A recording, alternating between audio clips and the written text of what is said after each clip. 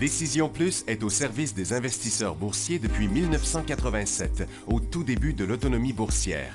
Notre logiciel de graphique Market Vision Plus et notre logiciel de code dynamique Trader Plus en ont fait sa renommée. Nous sommes encore ici parce que nous évoluons sans cesse et que nous servons bien nos clients. Découvrez nos produits et services spécialement conçus pour l'investisseur actif et autonome dans la boutique Décision Plus. Le logiciel de graphique Market Vision Plus est en français. C'est le logiciel le plus utilisé par les investisseurs de chez nous. C'est lui que vous voyez dans le feu de l'action. Trouvez, classer et analyser plus facilement avec cet outil sans pareil pour suivre la bourse et prendre les meilleures décisions. Gardez vos titres à l'œil avec Market Vision Plus. Consultez la boutique Décision Plus pour en faire l'essai pendant 10 jours sans aucun frais, c'est garanti. Laissez-nous vous guider pour analyser la bourse et prendre vos décisions. Les analystes de Guru.tv feront tout le travail pour vous. De minute en minute, nous classons les titres selon leur situation technique. Nous révélons les signaux d'achat et de vente. Nous publions des recherches poussées et nous prodiguons des conseils en temps réel. Ça commence avant l'ouverture et ça se poursuit jusqu'à la fermeture des bourses. Profitez de chaque cycle boursier avec Guru.tv. Trader Plus, l'instrument du day trader. 50 codes qui clignotent en même temps. Autant de listes que vous voulez. Graphiques à la seconde. De 3 à 30 graphiques. Des alarmes à volonté. Des listes de codes préparées. Des modèles graphiques préparés. Prêts à faire feu. Achetez, vendez avec Trader Plus.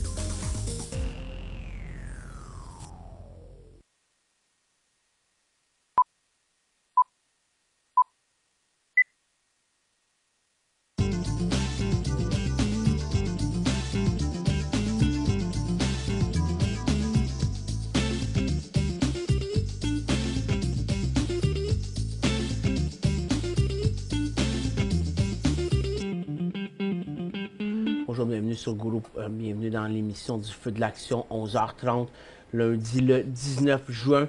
On a des marchés qui ont commencé quand même en bonne hausse. On a presque 100 points sur le DAR puis le TSX. Nasdaq beaucoup plus fort, 70 points de hausse, 1,15% Mais on semble avoir frappé peut-être le, haut des marchés. Euh, on a le pétrole qui vient de passer négatif, va donner un coup. L'or est resté complètement neutre, mais on va voir le secteur qui est beaucoup plus faible. Si on vient regarder nos marchés, Nasdaq, on est complètement neutre depuis euh, 10 heures, donc une heure et demie. Le Dow, on a fait une petite cote à la baisse juste avant. C'est pour ça que je disais qu'on semblait peut-être avoir atteint le sommet du marché, mais on vient de reprendre. Donc, si on repasse à 21 500, on pourrait décoller. Même chose avec le SPY. Donc, on a donné une fausse cote partout aux États-Unis avant de la reprendre à la hausse. Du côté du TSX, on a monté rapidement ce matin. On a fait une correction, un rebond, mais ça nous donne des sommets négatifs pour la journée.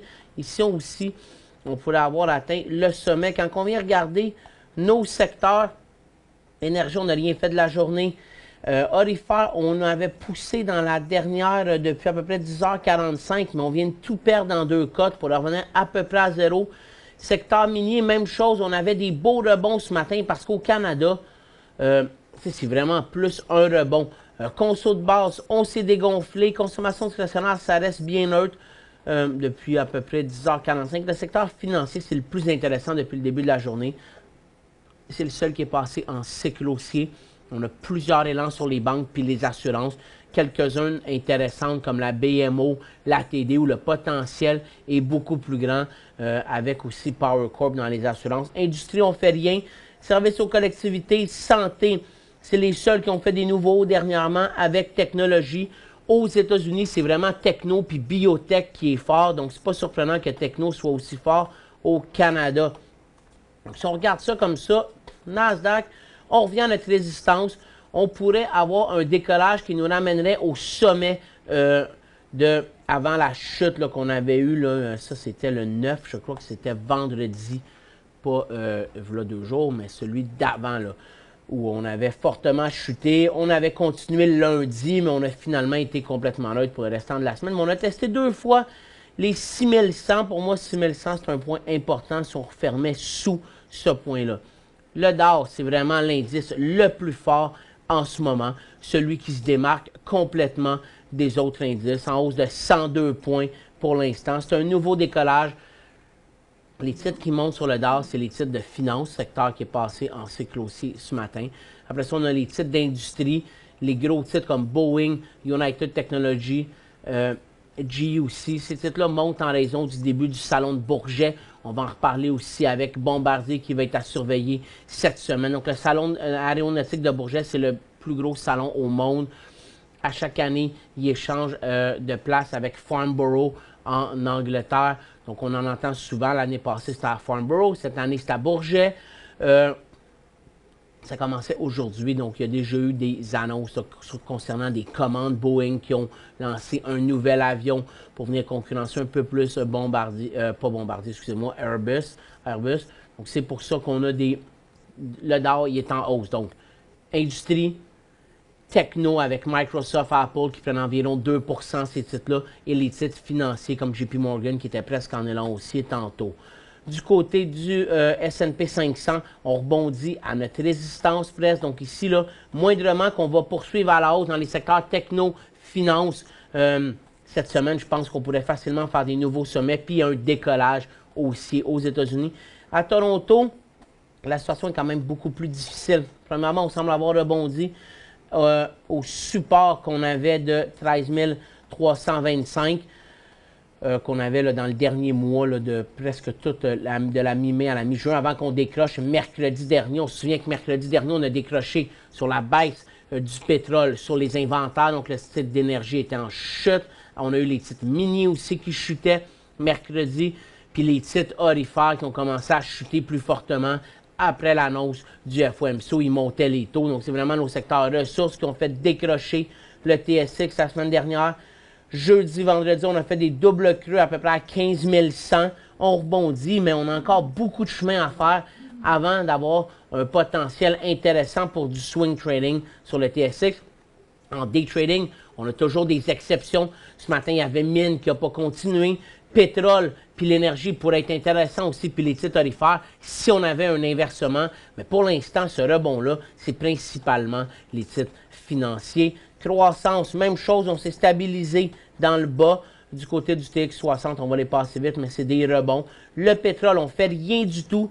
Euh, mercredi dernier, euh, sur Guru, j'avais expliqué que je pensais que ce n'était pas le moment d'ouvrir des positions à découvert dans l'énergie, euh, parce que je pense que le pétrole, il a quand même fait tout un chemin. Puis on voit qu'à chaque fois qu'il décroche, c'est rare qu'il continue dans les jours suivants. Il va peut-être rechuter encore mercredi de cette semaine sur les inventaires.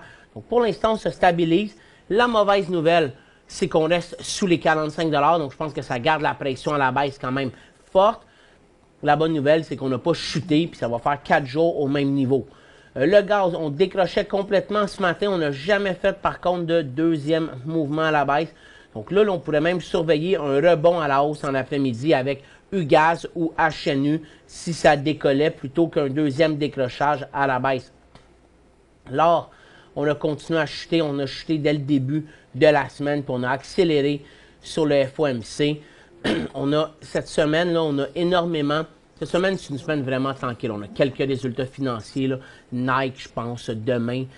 Euh, mais sinon, c'est vraiment la seule chose importante qu'on a cette semaine, c'est qu'on a énormément de membres de la Fed qui vont parler. Donc, après l'annonce de mercredi euh, dernier, hausse des taux, après aussi qu'on ait annoncé que tous les membres pensaient qu'il allait avoir une troisième hausse de taux, le marché ne pense pas ça du tout. Le marché évalue les chances d'une hausse de taux en septembre, exemple, à 15% On va attendre un petit peu avant d'aller au bumper, mais au bumper, on va vous ouvrir la question. Je vais juste finir cette explication-là. Donc, en fin c'est pour ça que l'or a baissé, parce que tous les membres de la Fed ont laissé, en tout cas, ont laissé sous-entendre, exemple, qu'il allait avoir une autre hausse de taux. Ils ont donné plus de détails sur la réduction du bilan de la balance sheet de 4 500 milliards de dollars. Euh, puis on dit aussi que comme la baisse de l'emploi qui faisait dans les derniers mois qui a fait un peu baisser l'inflation, c'était temporaire. Ils voient, ils voient tous l'inflation reprendre vers la cible des 2% puis ont augmenté les cibles de croissance. Donc tout est positif. Mais cette semaine, on a énormément de membres de la Fed qui vont parler. Je pense que c'est une des choses importantes à surveiller. Ça a commencé ce matin avec William Dudley, Charles Evans ce soir. Il y en a trois autres demain. Il y en a quatre vendredi. Puis puisqu'il n'y a rien ou presque rien, euh, ça veut dire qu'à Wall Street, ils vont surveiller ça de près. Qu'est-ce que chaque membre individuellement a à dire? Puis est-ce que ça va avoir une divergence par rapport au message qu'on a entendu Janet Yellen la semaine dernière. Donc maintenant, on ouvre la barre de questions, on s'en va au bumper, puis on va continuer avec les autres, avec les autres nouvelles.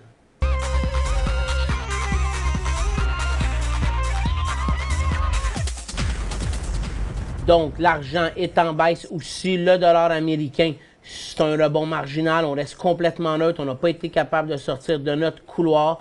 L'euro est en légère baisse. Le dollar canadien poursuit sa hausse. Une bonne nouvelle de ce côté-là. Le pound, il fait pas grand-chose. Et euh, le yen en légère baisse. Puis le reste, c'est pas très important ce matin. On va aller voir nos bourses asiatiques qui ont bougé quand même. Pas vraiment de nouvelles. Euh, le Nikkei en hausse de 2 tiers de pourcent. On est presque en élan aussi. Ça pourrait repartir. Du côté du Hang Seng, on est en hausse de plus qu'un pour cent, complètement neutre. Puis euh, du côté de la de Londres, on est en hausse maintenant de 1 Donc on a accéléré. Ce matin, on est à 0,42. Donc on suit les marchés américains. En Allemagne, on est à 0,84. On peut penser qu'on a traversé le, le pourcent. Puis en France, on est à 9 dixièmes. On peut penser aussi qu'on est en haut d'un pour cent maintenant. Euh, du côté de l'Europe, il y avait des nouvelles. Premièrement, euh, les discussions concernant le Brexit devraient commencer cette semaine. Le ton semble savoir été un petit peu calmé là, en, fin de semaine. Je pense que tout le monde veut vraiment euh, qu'il y ait un divorce équitable et que ça se fasse sans trop de, confrontation. Il va en avoir, là. Ils ont deux ans pour, euh, pour, faire de la confrontation, mais je pense que le, ton s'est un peu calmé là, euh, après les élections la semaine passée où les, membres de l'Union européenne, surtout de la zone euro, ont semblé essayer d'être un peu plus agressifs après les, mauvais résultats des élections pour le Brexit en Angleterre. En France, ben, on avait Macron qui ont complètement dominé, avoir une grosse majorité au Parlement après le deuxième tour. Il en a emporté 361 sièges sur 577. Donc ça en prenait à peu près là, grosso modo 288 pour avoir la majorité. Donc, il y en a quand même presque 70 de plus. Euh, c'est beaucoup. Donc, c'est les deux nouvelles qu'on avait en Europe. Maintenant, on va aller voir nos nouvelles américaines. Ça a commencé avec Clovis ce matin en hausse de 48% Donc, est en hausse lors de l'annonce du résultat positif de la phase 3 de l'étude Ariel 3 évaluant l'inhibiteur PARP de Rubraca pour le traitement de maintenance des patients atteints du cancer de l'ovaire sensible aux platines. Un titre comme celui-là, bon, il fait rien depuis ce matin, mais des fois, ça peut être intéressant de le regarder avec leur séance pour ceux qui ont Market Vision ou Trader Plus. Parce qu'on voit ici, avec leur séance, qu'on a une ligne de tendance. Donc déjà, on aurait pu dire à 85, je l'achète, ou ici, je l'achète, puis de 85 à 92, c'est quand même pas... Euh, quand même presque un 10% ça paraît pas. Donc, c'est important des fois quand on a l'occasion, le hors-séance, surtout le matin, quand on veut transiger, ça peut aider beaucoup. Donc, dans Market Vision, vous l'avez dans le graphique intra-séance en cliquant ici. Puis, même chose avec Trader Plus, vous avez euh, cette option-là. Striker Corporation, lui, il fait l'acquisition de Novadac Technologies pour 701 millions ou 11,75 C'est une prime de près de 100% euh, on est exactement au prix payé. Moi, si vous en avez, je vous dirais on passe go, mais c'est pas un titre là, que pas un titre qui était vraiment intéressant depuis une grosse année. Euh, il y a encore beaucoup d'obstacles euh, à faire avant que ça soit accepté par tout le monde, dont il va falloir qu'il y ait une séance, une acceptation par les actionnaire. Après ça, on a Rice Energy, lui, qui se fait acquérir pour 6,7 milliards par EQT. C'est un échange d'actions et d'argent. Donc, les actionnaires de Rice Energy vont, recevoir 0,37 actions de EQT en plus de 5,30 en espèces. Puis, on a Altaba, anciennement Yahoo, qui a commencé à se transiger aujourd'hui sous le symbole AABA. Donc, on peut aller le voir, qu'est-ce qu'il fait? AABA, Nasdaq. Là, ici, je suis en. On va le regarder en une minute. On devrait avoir assez de période. Donc, il a ouvert vers les 53 C'est à peu près ce que Yahoo valait, euh, un petit peu plus. Puis, il est complètement neutre. Mais je pense pas que c'est une action là, qui est vraiment intéressante à transiger. Il n'y a pas de. C'est pas comme si. Euh, c'est pas une action qui, va être spectaculaire pour transiger. C'est pas un IPO, c'est juste un changement de symbole, puis ils ont enlevé la partie que Verizon a acquis. Donc, il se passe pas grand-chose. On avait quelques nouvelles du côté canadien que je vais aller faire avant la pause. Donc, on a Valiant qui ont élu l'investisseur activiste de fonds de couverture John Paulson. Euh, John Paulson, c'est lui qui avait prédit, exemple, le marché, l'éclatement du marché hypothécaire et immobilier aux euh, États-Unis en 2007. Il avait fait 15 milliards. Donc, c'est pour ça qu'il est connu. Il est rentré au conseil d'administration la semaine passée de Valen. Ça l'amène une certaine crédibilité. C'est un titre aujourd'hui, Valen, qui était vraiment intéressant à surveiller pour l'intra-séance, puis même donc, il a beaucoup progressé. Pourquoi je parle d'intra-séance? Parce que je ne suis pas sûr qu'une nouvelle comme ça, ça peut faire monter le titre très longtemps. ils n'ont pas euh, trouvé un nouveau médicament, ils n'ont pas mis un nouveau médicament, ils n'ont pas vendu d'actifs pour diminuer leur dette. Ils ont juste rentré euh, un, investisseur pour amener de la crédibilité. Puis euh, c'est ce qu'on a. On s'en va à la pause. Plusieurs questions. On va faire le tour des secteurs et on va répondre à vos questions. Pour joindre Michel Carignan et son équipe par courriel, écrivez à michelcarignan.com.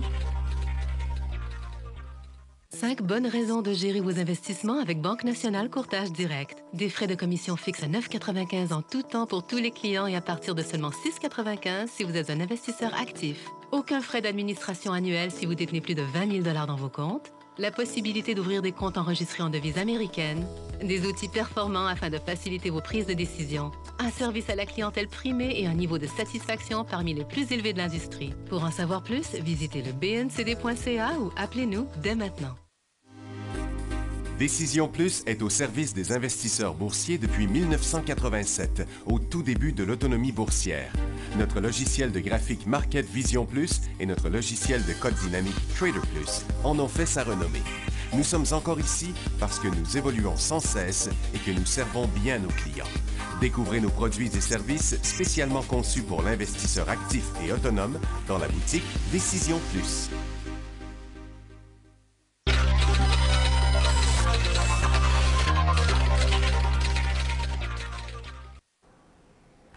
Donc, je viens de regarder un peu les questions, mais avant d'aller euh, répondre à vos questions, je veux juste faire le tour des secteurs. Donc, finance, on décolle aujourd'hui. On est sur le couloir. Il y a deux façons de regarder le secteur. La première, en prenant les sommets, les fermetures, on décolle aujourd'hui. Puis ça, c'est intéressant. En prenant les sommets, il n'y a pas beaucoup de place. Ça se peut qu'on le traverse aussi.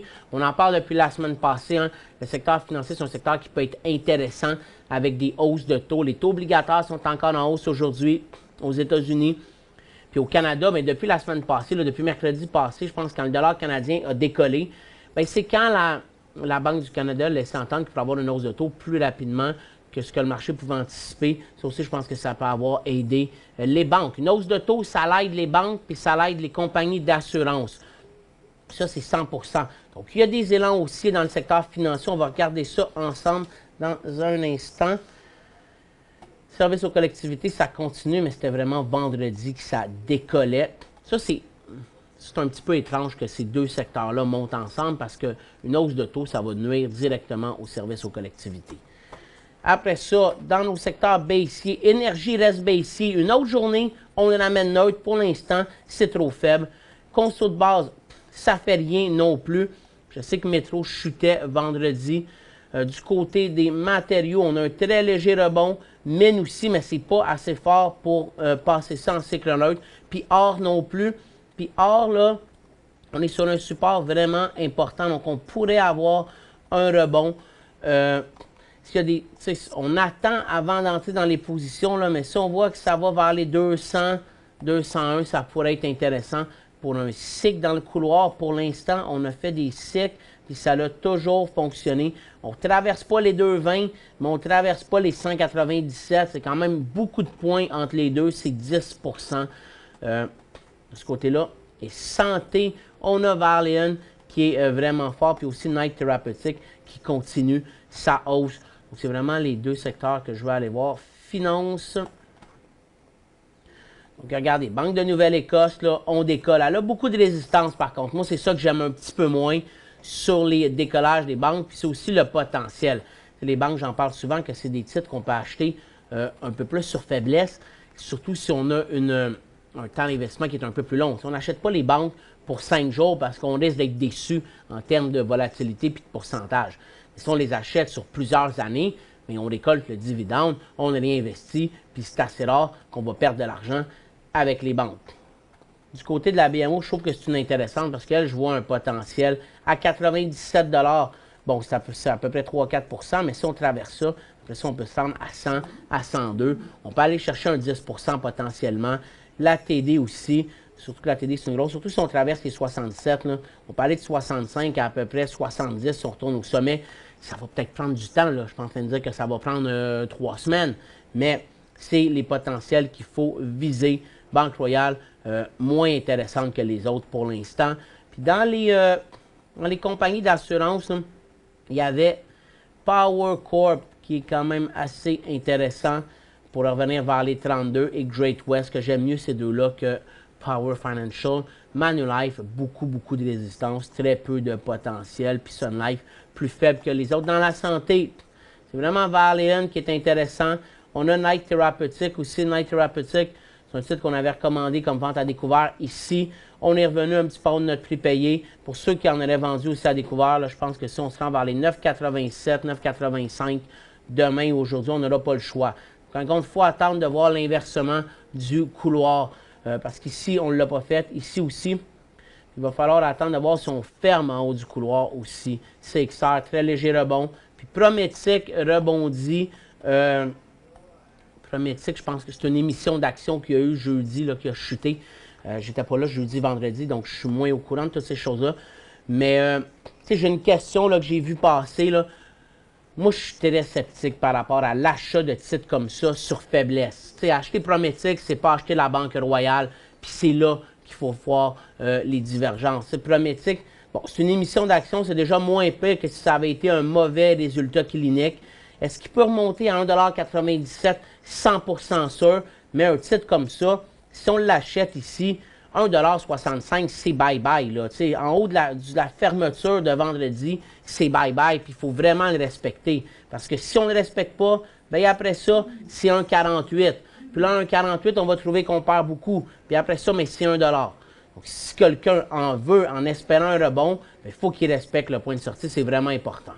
Mais la seule raison pour laquelle on pourrait l'acheter, c'est parce que c'est une émission d'action. Parce que si c'est un FDA ou si c'est un essai clinique ou n'importe quoi de mauvais, je vous dirais, on ne touche pas à ça du tout. Euh, bon, c'est ce qu'on a. AUP qui pourrait être à surveiller aussi est un peu plus intéressant sur Nasdaq. AUPH a beaucoup plus de volume. Puis ça fait pas mal le tour dans l'or. Euh, l'or, si quelqu'un qui voudrait se préparer, il faudrait trouver des titres qui ressemblent au secteur. Euh, puis là, un, un titre comme lui, mais plus bas. Puis là, j'en vois pas. Parce qu'en fin de compte, dans l'or, c'est surtout des titres comme Goldcorp puis euh, Barrick qui l'ont fait chuter, tandis que les plus petits étaient euh, plus intéressants. Ces titres-là, pour le moment, je trouve pas qu'ils sont intéressants à acheter. Dans le secteur minier, là, c'était vraiment un titre comme First Quantum qui rebondissait ce matin, mais il fait plus rien du tout. C'est vraiment juste du day trading, un titre comme ça. Donc, euh, s'il ne redonne pas un autre coup aujourd'hui, j'achèterai pas ça. B non plus, London non plus. Turquoise un peu plus fort. Puis euh, Tech, Tech non plus, il fait pas grand-chose. De toute façon, pour l'instant, le marché reste complètement stable. Puis le pétrole, lui, il accélère à la baisse en ce moment. Titres d'énergie, c'est vraiment pas intéressant. Donc, on va aller répondre à vos questions. CXV, achat dernier jour à 17 sous. Ensuite, tout vendu à 19 quand embarqué? Donc, vous avez fait 2 sous. Ça paraît pas 2 sous comme ça, mais c'est 10% Donc, c'est quand même intéressant. Euh, j'ai juste là, 17 sous, c'est parce que je voyais pas de point d'entrée à 17 sous. Moi, ce titre-là, pour l'instant, euh, je suis peut-être plus patient avec. Je vois un, élan potentiel plus intéressant à 19,50. Sinon, peut-être 16 sous pour jouer le rebond, mais là, c'est plus. Euh, pour le moment, je ne vois pas de, point d'entrée intéressant sur le titre. On s'en va à la pause, puis on finit avec le restant des questions.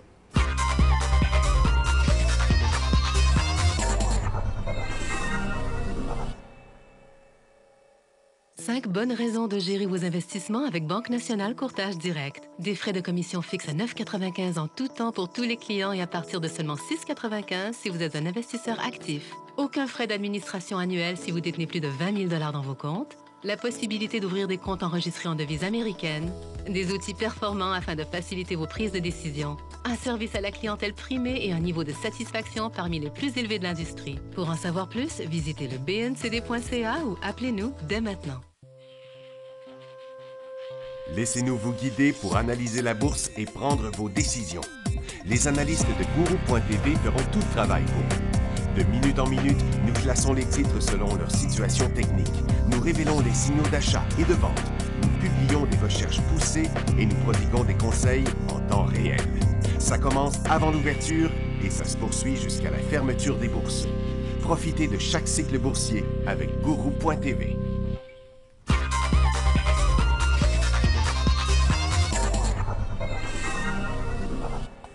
Donc, on va revenir avec l'autre question ici sur Stornoway. Je pense m'être fait prendre ce matin, vendu Stornoway à 77 sous euh, au bas de la journée. La personne l'avait acheté à 1 Est-ce que la remontée à 80 est crédible?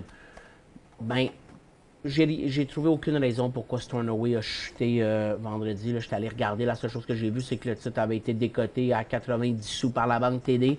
Quand on le regarde en inter on voit que ça s'est fait vraiment rapidement puis qu'il est revenu presque, mais c'était quand même en élan baissier. Euh, ce que je peux voir comme ça, ce serait un gros actionnaire qui aurait peut-être liquidé sa position ou quelqu'un, c'est tout. Euh, est-ce que vous vous êtes fait prendre? C'est sûr que c'est fatigant, là, vous aurez pu le vendre 3 sous plus cher, mais ça reste que vous avez payé un dollar puis que le titre est vraiment pas en bonne position. Euh, il y a eu un coup de faiblesse, puis il pourrait repartir à la baisse. Est-ce que c'est crédible?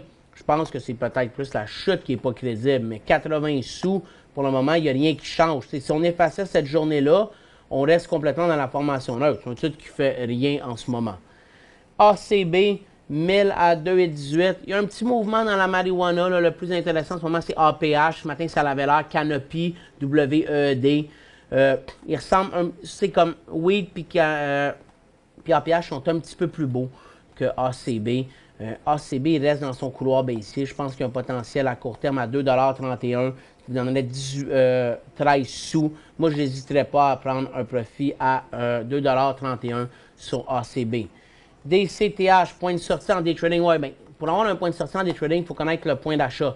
Ça, c'est un titre qui est intéressant à regarder ce matin avec leur séance. On voit que c'est déjà dès vendredi qu'on a monté en hausse. Puis on voit qu'à 8 sous, à peu près 7 sous et demi, 8 sous, c'était euh, un gros support. On ne l'a pas traversé, puis on semble vouloir y retourner. Je vais juste baisser le nombre de données. Là. Donc, si ce titre-là, là, il repasse là, juste un petit peu plus haut, 8 sous et demi, ça pourrait être un point d'entrée. Clairement, pour vous, là, 7 sous et demi, on se débarrasse de ce titre-là en day trading, c'est certain. Mais s'il remontait à 11 sous pour finir, on pourrait même se permettre d'en conserver euh, overnight si on prend un profit. si on le paye 8 sous et demi puis qu'on prend notre profit en 11 sous, euh, ça nous donne quand même un bon 2 sous et demi. On peut se permettre d'en garder pour une autre cote à la hausse. Bon, ACB, j'ai répondu à ça. Quel serait le meilleur temps pour investir dans l'or? Ben, l'or, je vous ai montré qu'il y avait un gros support. Euh, pour l'instant, moi, l'or, je pense pas que c'est bon à, sur le... Je pense qu'à court terme, l'or pourrait continuer à être faible parce que les perspectives économiques sont bonnes. Aux États-Unis, au Canada, ça s'améliore. En Europe, ça s'améliore. Tout est positif. Les taux s'en vont vers la hausse. Donc, là, c'est difficile. Il peut y avoir des coûts à la hausse à court terme quand on a des problèmes avec euh, Donald Trump et la Russie, mais les perspectives fondamentales de l'or sont pas bonnes en ce moment. Les volumes de toutes les banques à la hausse vendredi, c'était le temps d'embarquer. Euh, ah, je vais revenir à la finance. Ben, vendredi, là, tous les titres étaient en hausse à cause du Quadruple Witching Day, le jour des quatre sorcières, puis toutes les expirations. Il ne fallait pas se fier sur ce volume-là pour se dire que c'est un décollage. On pouvait se fier sur le secteur financier en raison de, vendredi, de mercredi du FOMC puis des commentaires de la Banque du Canada en se disant les perspectives des banques peuvent être bonnes à moyen long terme. C'est comme ça que j'aurais vu, mais pas les volumes de vendredi. J'ai encore le temps d'embarquer dans les banques. Après cela, on a mon bombardier que je veux aller vous parler. Mon bombardier est en élan haussier. Euh, on avait parlé à, sur Goulou à 2,55 Ceux qui l'achètent maintenant, le potentiel est quand même limité. Euh, je vois deux potentiels, mais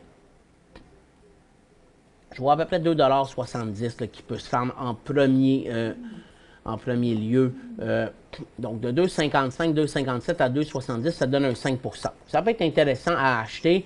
On fait 5% puis après ça, s'il décolle en haut de 2,70 puis qu'il nous annonçait des bonnes nouvelles cette semaine, mais là, ça serait vraiment plus intéressant pour la suite des choses parce qu'après ça, le potentiel, ça pourrait aux alentours des 3,50 je pense. Donc, Bombardier, élan aussi aujourd'hui. On prend un profit à 2,68, 2,70, absolument. À moins qu'il traverse d'un coup sec. Mais si on voit qu'il bloque là, moi, je prendrais un profit. J'aurais mon 5% puis après ça, j'espérais qu'il y ait une traversée, puis qu'on ferme à 2,75 puis que là, on puisse viser euh, les 3,50 ADD acheté à 33 sous. Vous l'avez acheté sur l'élan haussier ici. En compte, ce qu'il faut dire, c'est que fallait, en l'achetant là, il fallait être prêt à risquer beaucoup d'argent. Donc, la grande question, moi, ça serait, je sortirais, moi, absolument à 20, 26 sous et demi, 27, puis s'il décolle, tant mieux. Ça, c'était le risque en l'achetant sur cette cote-là euh, le 12 juin. IDW, bon achat à 51 sous. C'est important qu'on mette les symboles aussi euh, que je ne cherche pas. IDW, ça me semble être une, offre d'achat. Alors, je surveillerai ça attentivement, mais non, c'est vraiment pas un bon achat à 51 sous. Avoir les volumes, là, je parierais 92% que c'est un offre d'achat sur le titre. Euh, CAS puis SPB, donc cascade, moment d'acheter, non, pas nécessairement. Euh, un peu plus haut pour Cascade. Puis euh, Supérieur Plus, mais lui, il va vraiment mal. Euh, ça, je ne sais pas exactement ce qu'ils font Supérieur Plus. Le bien d'équipement. Euh, moi, je n'achèterai pas Supérieur Plus maintenant. Puis c'est la fin de l'émission. Donc, ça finit. J'ai répondu tantôt à Prométique. Là.